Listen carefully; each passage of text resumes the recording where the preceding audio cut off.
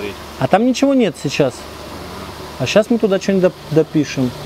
Тест 1, тест 2, тест 3. Он там не так супер оперативно, но, по-моему, сейчас уже должно появиться. Вот.